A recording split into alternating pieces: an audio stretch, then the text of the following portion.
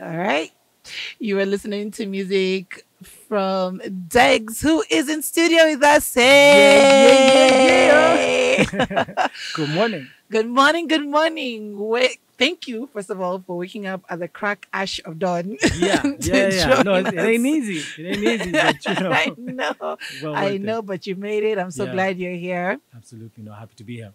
We were listening to Kuruka, right? Yes, yes. When did that song come out?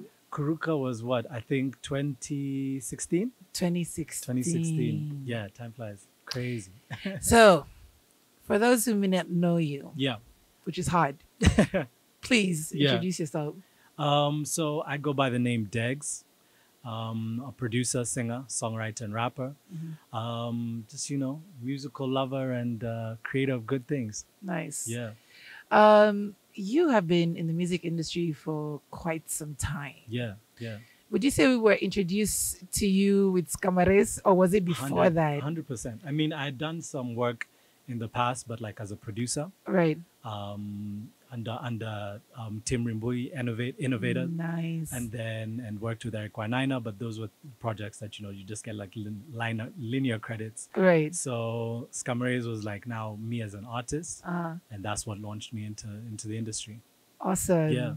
That was one of the biggest hits for quite a long time. How was Yeah. the feeling like when it came out? Yo, it was crazy. I remember like back in the day, like I feel like the music industry then was like really vibrant, especially like Africa, like MTV Base had set up. There was just like Mm. people were still on the conventional ways of like listening to and watching videos and Right. listening to music. So I remember like we premiered it, the video on MTV Base across Africa. Yeah. And like, you know, in the minute it, it was out there, guys were going crazy. Right. I think to date, like it's still a huge song in like UG and the like. So it's like it's I, I we were literally talking about it yesterday with a friend of mine and he was Yeah. like, This song plays in the States all the time. Right. So it's just like I think it's just one of those songs that's part of Kenyan Kenyan culture and Kenyan, you know, Kenyan music. So, so 100%. I'm, I'm proud. I'm proud to be a, to have been a part of that project. Actually, it also plays a rotation here because we're all about throwback therapy over here on this show. So always taking it back. Yeah, and kind of like reminiscing. And you're right, it was very, very vibrant. Like, especially the early uh, 2010s Yeah. going down. It was mad. there was there was this there was a wave, man. It was it was so fun. right. It was so fun, and I think like also like you know I was also much younger then, so it was just like you know you just you're just enjoying it, doing everything like carefree. Yeah. There was a wave of like Camp Mula. There was you know Yeah. Sauti Sol was just starting out as well. There was just like everybody was just buzzing. It was it was a good time. It was a good time Actually, it's a time when style and music, our own style and music, kind of like meshed. yeah, We got to see, like you're saying, not only color in the music, but also in the style of dressing and stuff. absolutely true. Like it was just vibes. True, and like those are like the early days of blankets and wine. Yeah. You know, it was it was such a like I don't know whether like every generation looks back at a time like yo those were good times. yes, but those were definitely good times for us. it was a new wave of that time. Yeah, for sure. Now, where is your foundation from? Where did you get started? How did you get started into music to begin with? I think like that just that just stems from you know perhaps you know genetics. Number one, my mother loved Mm. loved music. My sister loved music, so I guess like around the house we're always singing and, and stuff. And then got into school, and obviously then was you know motivated to like do music. Right. So I learned a couple of instruments, got into orchestras, and Oh, and yeah, and played in brass bands and stuff. oh so wow. that was that was my background in just like music.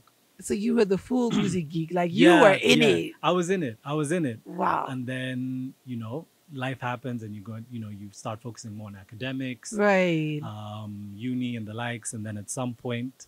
Um, got an internship at Eric Wainaina Studio yeah. and Tim Rimbui, and then now that's when I started learning like the actual production of music. Right. and then thought, okay, you know what? Maybe I should be singing on a track or two. Yeah. And that's just, it, it kind of just like spawned from that. But like it literally started when when I was a kid. Actually, the time for Eric Wainaina and Innovator was the time for Tinga Tinga Tales, right? Yes. Yeah. Yeah. So that was a full-on musical. So your music prowess was going deep into that as was, well. And I was like, I was learning so much because like they, I was thrown into the deep end. So I was literally like cutting things for Tinga Tinga, learning how to use the software, Yeah. backing up things, doing um, recording sessions on my own recording like Atemi and Chris Adwar and Right. So it was like there was a lot going on that I was just like, damn, this is this is music. it was um it was really it was actually one of the most um enjoyable experiences of my life. Just I learning from yeah learning from the greats. And at 18 i remember when um eric's album came out love and protest Yeah. you know seeing my name there like as you know studio engineer i was like yo you know i felt like i'd worked with michael jackson It I was- it can was- it was surreal. Yeah. Because both of them are like when you meet both of them even individually you can always tell like it's always working up there you know? Yes, like yeah. sometimes like my hamster is jogging theirs is running you know? Sprints. They're, It's- they're going amazing. mad mad. So um you took um quite a break. Yeah. Um and you explained it at your listening party. Yes. Seven years. Seven years apparently What was the process like at that time? Was it imposter syndrome? Was it like, okay, I just need to take a break from all of this and get into something new? Yeah, I don't know. I, to be honest, it wasn't really thought out. Like it wasn't like, okay, I'm gonna take a break. Yeah. It was just like, okay, you know, you release one song, give it a couple a couple of months, release another one, give it a couple of months, so then you realize you're not releasing any songs. You're just giving a couple of months, giving a couple of months, and months turned into years, and then you ask yourself like, oh yeah, what am I doing? And you find you've gotten into other businesses Yeah. and other things that are like, you know, also rewarding Yeah. but you're like, all right, you know, I'll get I'll get back into music eventually, and time just flew by. Right. Time flew by. I had no idea that, you know, it had been seven years until Right. I actually looked back and I'm like, wait, the last song I released was 2017. I'm like, damn, that's that's a long Mm. time ago. Right. And as I was saying, like, I think COVID also really sped things up because like it was you know two three years where nothing was really happening. Mm, So that in itself was just like, where did the time go? right. Yeah. So we're gonna take a short break. Like I told you, I swiped your. That's yours, girl. Thank you.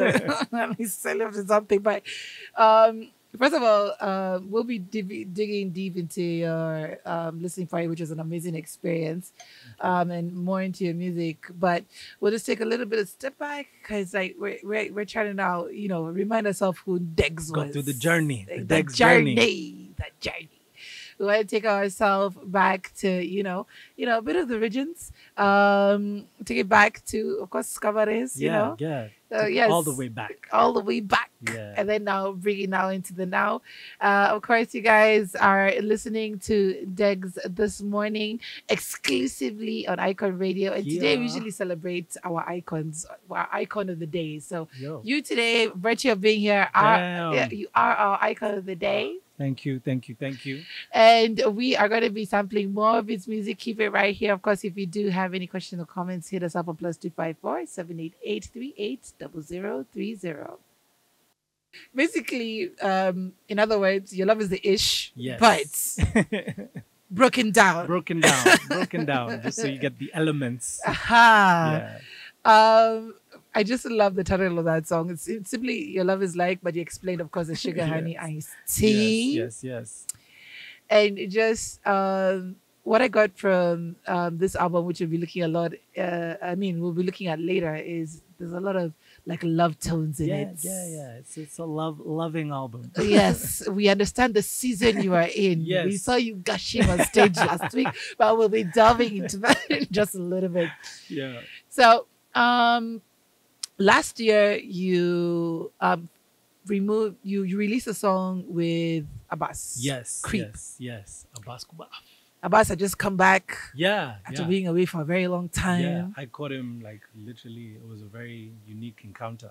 Okay. We met in a club. I Aha. met him. Just bumped into him, and it was like, "Hey, bro, I, I'm such a huge fan. Uh-huh. I love your music, man. You know, one day I would love to do something." He's like, "Yo, why not today?"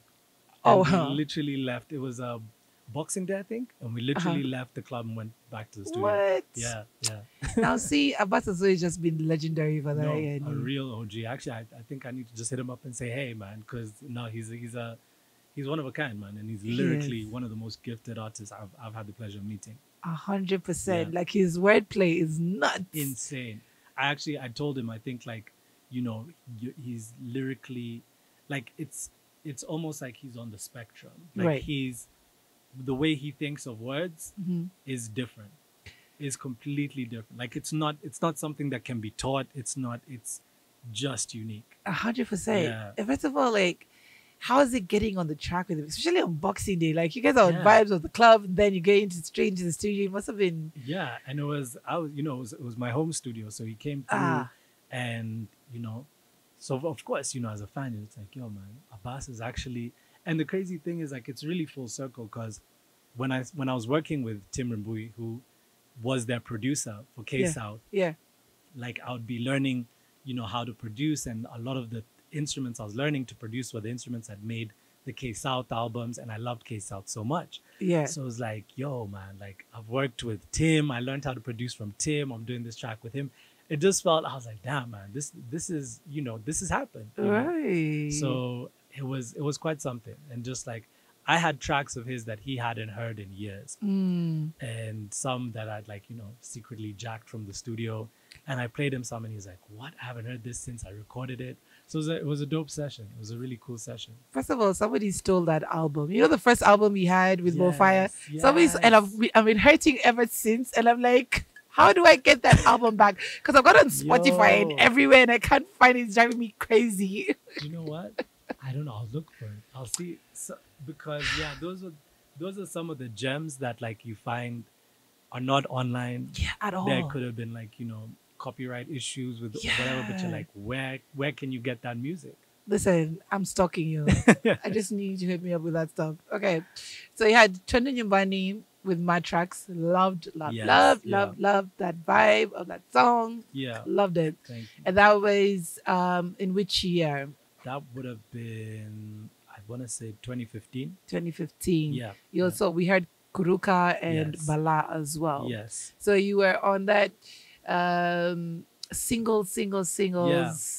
So what got you now into getting now into a full body of work, doing the EP?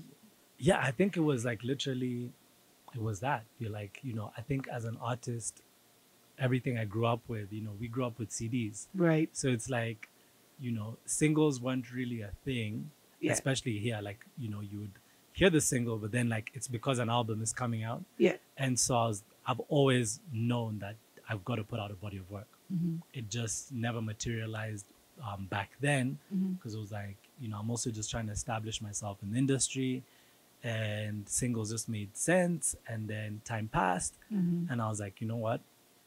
If I'm coming back, I have to come back with this body of work Right.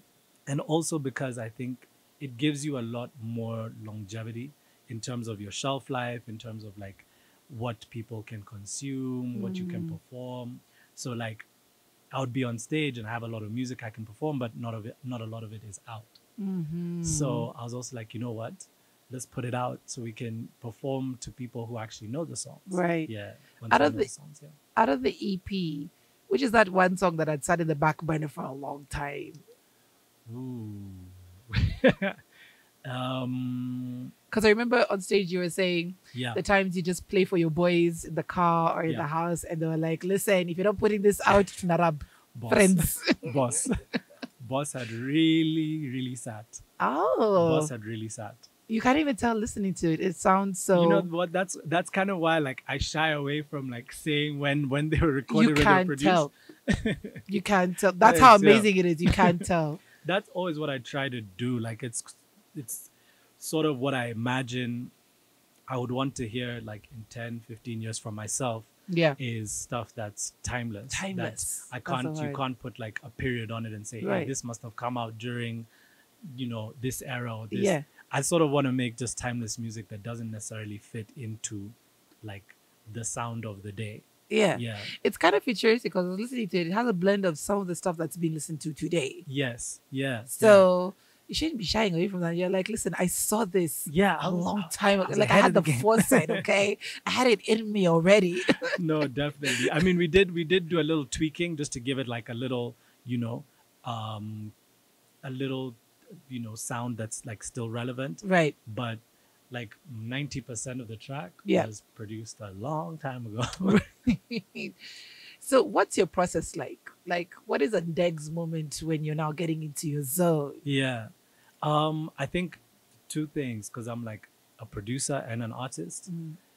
And there are two things that I like I love being the artist. Mhm. The producer is where I, I find it so frustrating a lot of the time because I start making a beat because that's how you'd start, and Yeah. then I get carried away by writing to it. So now I'm like, okay, I, I don't finish the beat because I'm just like, I want to record to it. So it's Yeah. like the process is usually quite long when I'm when I'm working on a solo project. Uh-huh. But um, when I'm working with like other producers, it's just like get me in a booth, get get get the get the beat on or Right. you know the keys and and I'll write and I'll write and just find a flow Mhm. and yeah. So the the process is usually like quite smooth if it's just if I'm if I'm away from it, Okay. if I'm not too involved in the in the beat making. yeah. The beat making, I overthink it like crazy. So, would you call yourself a recording or performing artist? I think what most people have, I guess, I'm definitely, I'm definitely both mm-hmm. because recording, I'm I'm such a fan of recording because I'm a producer and there's a way that I like my sound to sound. Mm-hmm. So you know, I stack my vocals a certain way, um, do certain things a certain way. So that that's like what makes me the recording artist I am. But Yeah. everything I record, I'm thinking about how do I how will I perform it on stage. Right. And genuinely, as an artist, I think the thing I look forward to most is performing on stage right. for people because I think it gives them a different a different interpretation of the song. Mhm. And that's why even at my gig, it was sort of like you can do so many things on stage. You can take it acoustic. You can, you know, strip down the sets. And it's honestly something that I learned from um, my my brother Mad Tracks when we would come to like performing Mhm. we would like arrange the track so differently from how it's actually like played on radio and the likes. Right. So it becomes like really interesting. People are hearing like just one set of instruments, then it comes into like the bass. So I love I love like creating sets for for performances. Right. Yeah. You, you write everything yourself. Yes. Yeah. That's mad. like writing isn't easy. Believe me, I've tried. It's Yeah. not easy. It doesn't come to somebody just like that. Yeah, no, I think yeah, writing is it is tricky. It definitely is, and I think Mm. with time you sort of get you get a feel for it, and Yeah. I think also it helped me being around certain people when when I was when I was starting out, just Yeah. seeing their process, what people write about, um, and then kind of finding my lane Yeah. in in knowing that you know.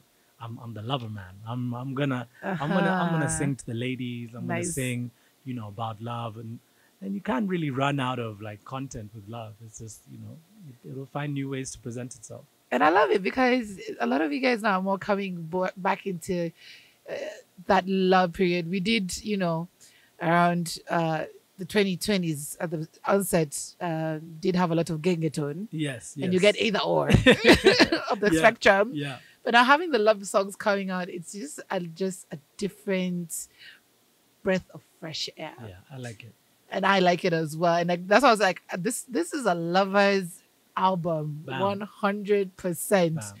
I'm an R and B baby, so like you know, Mm. love is love is such a a central theme in R and B. Yeah, So you know, I guess it's it's somehow like second nature to me because that's like the music I fell in love with as a kid. yeah. So like when I think of writing, I'm I'm immediately thinking of like Usher, Donell Jones, you know, and I'm like, you know, what would they say if they were Ndegz? Okay. Yeah. Now I'm waiting for your performances after. you know, that was just a listening That- party. yes. Now I'm waiting for the Yeah. performances. If those are the ones you're, you know, crafting it under. Now, speaking of influences, who would you say are your major influences, both here and abroad? Um, I, I honestly, my, my influences are so wide, so Mm. wide because like, I I genuinely like started playing guitar and things like that, inspired by like Tracy Chapman, Yeah.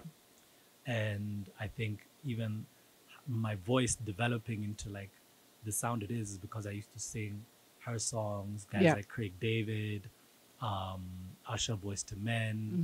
Mhm. um, those are kind of the people that I grew up listening to and would sort of, you know, write down the lyrics, sing the songs, and that's how I sort of crafted my sound. But then also at the same time, like my sound also is like from Shaggy, you know, like Nice. the the Burna Boys, like Yeah. this little like gritty dancehall sort of flow yeah. hip hop, Biggie.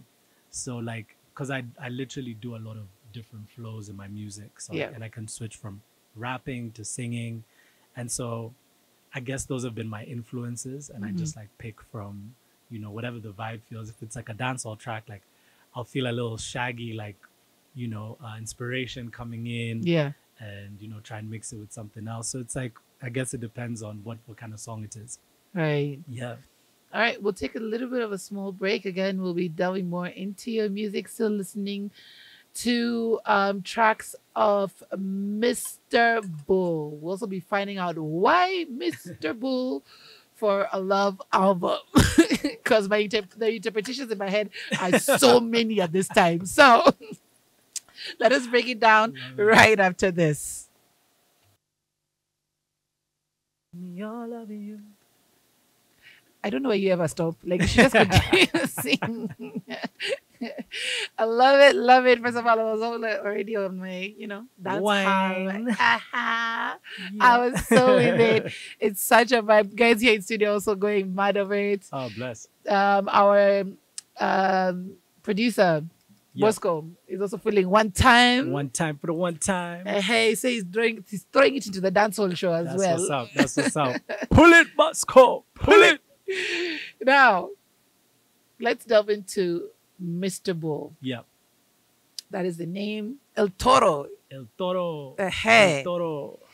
So why Mr. Bull for this? For this, for this particular, you know what? Mhm. It's the most grueling thing having to come up with a name for an album. I can First. imagine. like, I think if you don't have like a theme that like, because I didn't think let me put together an album then make the songs. Yeah. It was like I made the songs, then I was like, okay, let's put them together and then figure out what we're gonna call it. yeah. And so you go through all these names, and I was like, you know, bull is what my name means in Kikuyu. So Degwa means bull, Right. which is where Ndegz, Ndegz comes from, right? Okay. in case you don't know. okay. Then I'm also a Taurus. Ah. So the bull is significant in my life for many reasons, Mhm. and Mr. Bull is a name that my my parents had been calling me from when I was a kid. Oh, nice. So I had an uncle who I'm named after. He was Uncle Bull. Then Yeah. like I was like Mr. Bull. So it's just it was a name that I had for a very long time. right.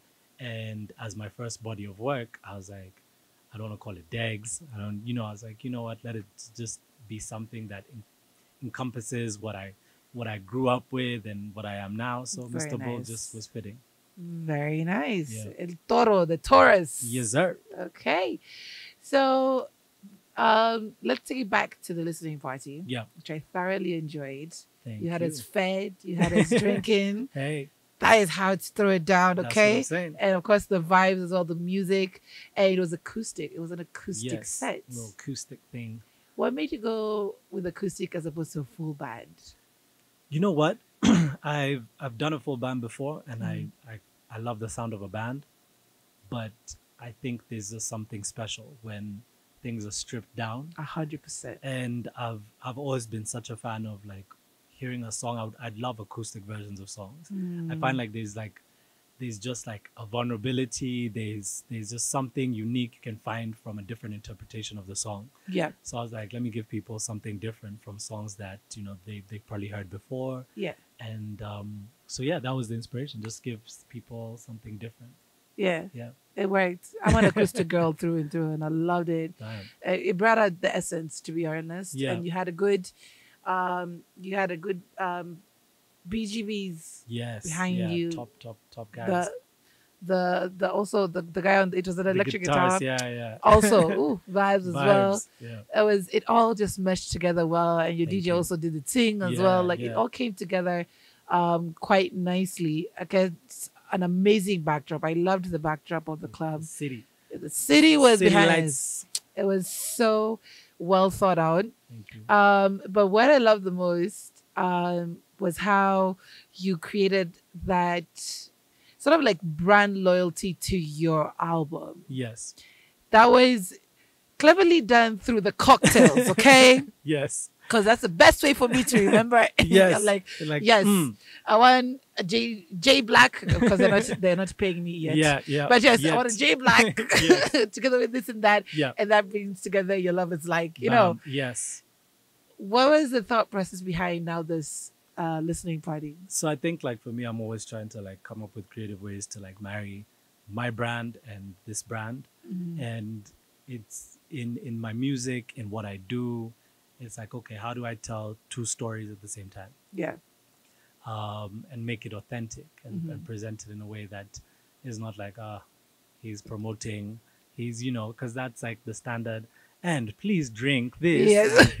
so i was like you know initially i'd wanted to do like a, a little tasting and Yeah. have, but i was like you know what that that that would take away also from the essence of, of what the night is so you know let let people taste on their own but like let's Mhm. just like theme it so every every track on the album has uh, a dedicated cocktail that right. you know speaks to the song in some way Yeah. so that was that was the idea and i think i think it came out pretty nice and Yeah. i think you know people enjoyed the songs and the and the cocktails A hundred percent. I was like, let me have a your, your love is like, and i'm gonna have two like your got love is likes it made so much sense. yeah Um, the album. Now that let's uh, delve into the album. yeah Um, this is uh, which was part of the album where now it was intentionally because you have the singles that you yeah did.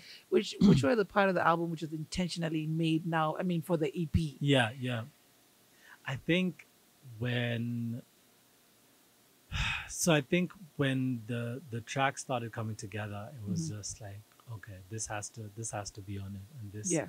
then this has to be on it then Yeah. it was like there were tracks like i hadn't put on the ep initially like need you Yeah. and i was like it felt like a different it felt like a different at first i was like no this doesn't really fit and i was Yeah. like no but it does then i was also i was going and figuring it out as i go along to Yeah. be honest um and so i think the ones that definitely like i knew created the sound Mm. was one time Mm. um one time boss and um one time boss and fire blue Mm. because oh sorry one time boss and loving you Okay. because i think what they had was like they had this very casual summer feel Yeah. love is in the air Yeah. it just had this you know it's not it's not a it's not a love letter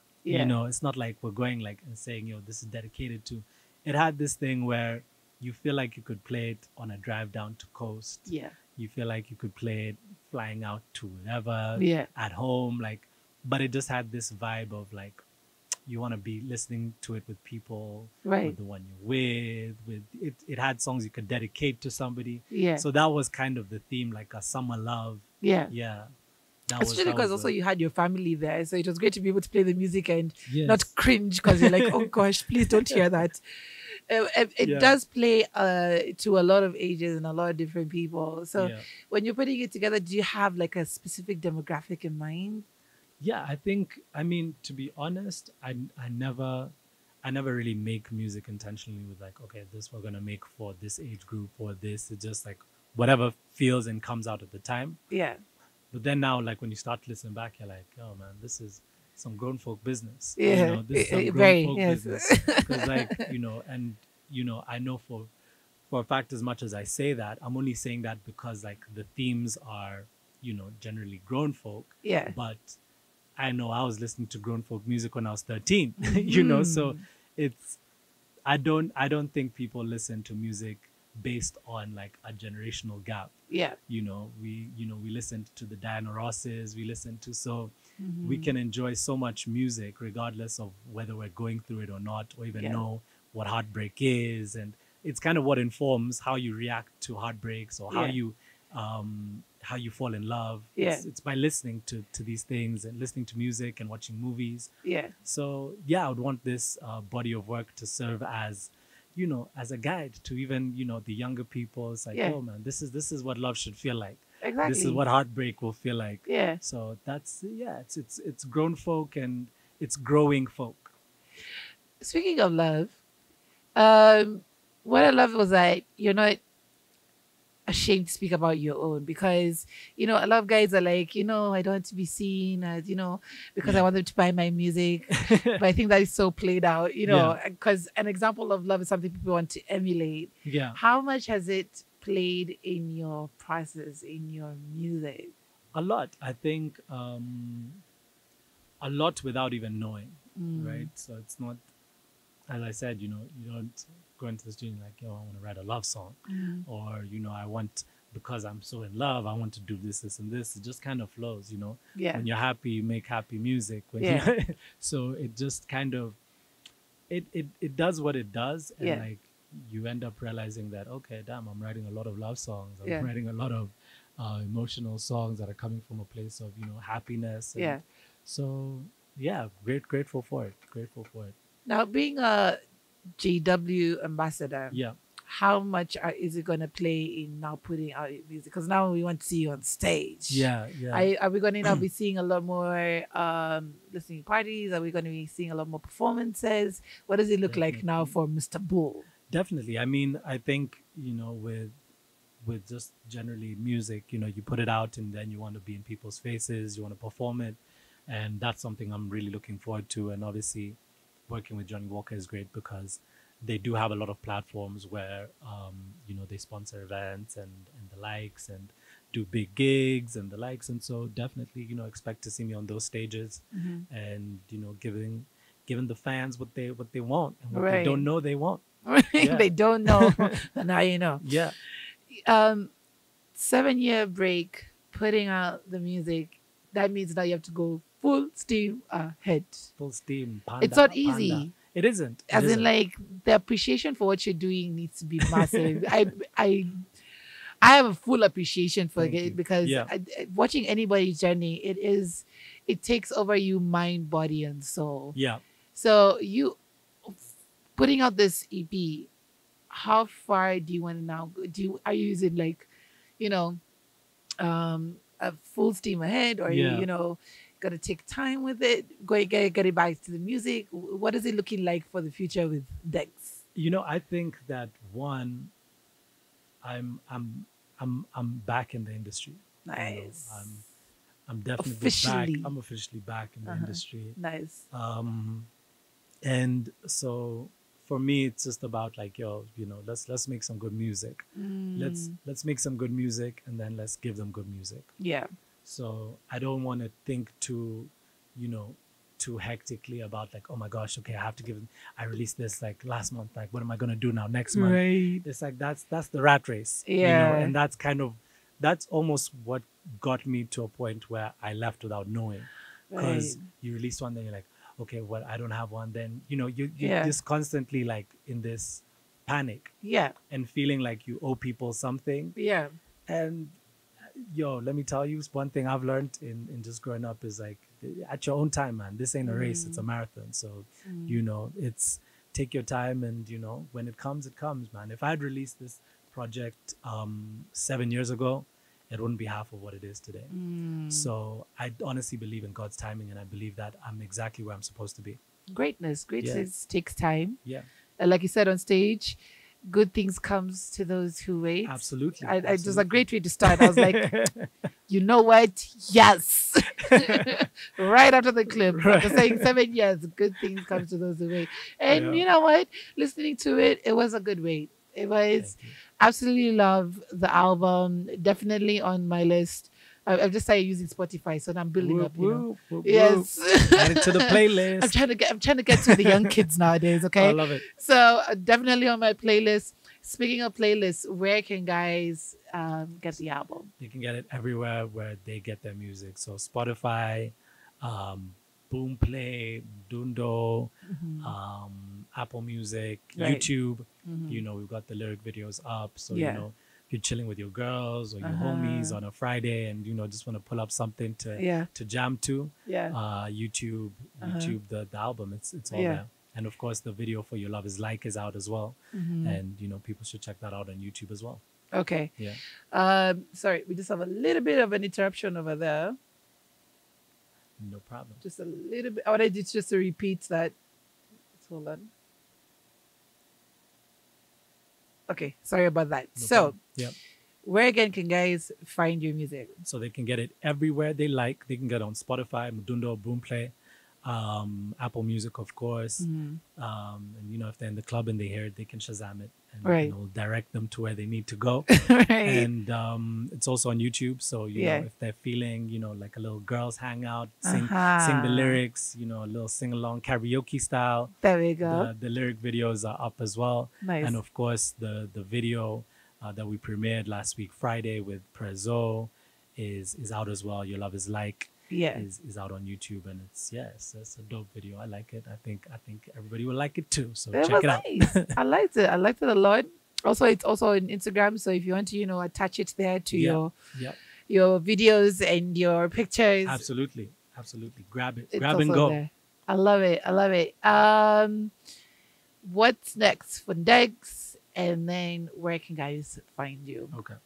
Um, so I think I'm I'm very blessed to be, you know, to have my hand in many things. And um, I think for me right now as as an artist, as an entrepreneur, I'm just looking to just, you know, grow my grow myself, grow my business. Um, so you can you you'll find me in many spaces, in events, Mhm. in um in the music industry, of course. And Yeah, so I'm I'm just looking to just get my fingers in in a lot of little pots and right.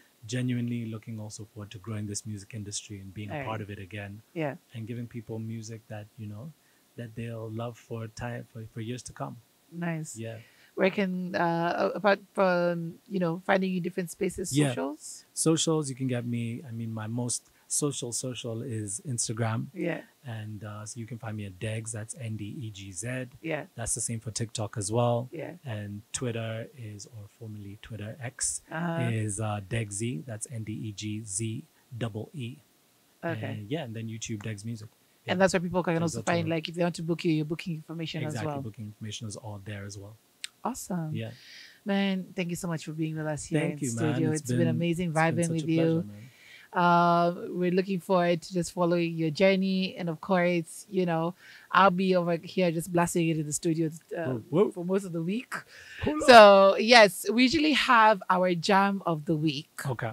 And being that you're here this week, so my Okay. jam of the week is Your Love is Like. Ooh, So we're putting it out on our socials love it. and let people know where to find your song. Oh, thank you. I appreciate that. Thank you so much, Dex. Thank you. Guys, we've had an amazing moment with Degs. Remember, you can hit him up or just check out his music, listen, support K music, or just support music in In totality. and love on the album because it is giving us the feels, okay? All it's the for feels. the feels, yes. So we'll catch you in the next few minutes as we finish off the show. Um, continue listening to Degs as we head